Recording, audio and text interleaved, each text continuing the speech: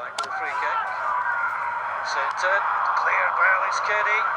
Zaliukas goes up for it. Chance and in. That may have gone in from Alex Keddie. And Hearts have scored for the second time in four minutes and lead by two to nil. Zaliukas, Scantler Barr, all congratulating each other. Alex Keddie asking if it was an own goal. I think you'll find the answer to this is yes. Initial clearance from Alex Keddie was a good one. Zaliukas attacked it, but Keddie just brushing ball away.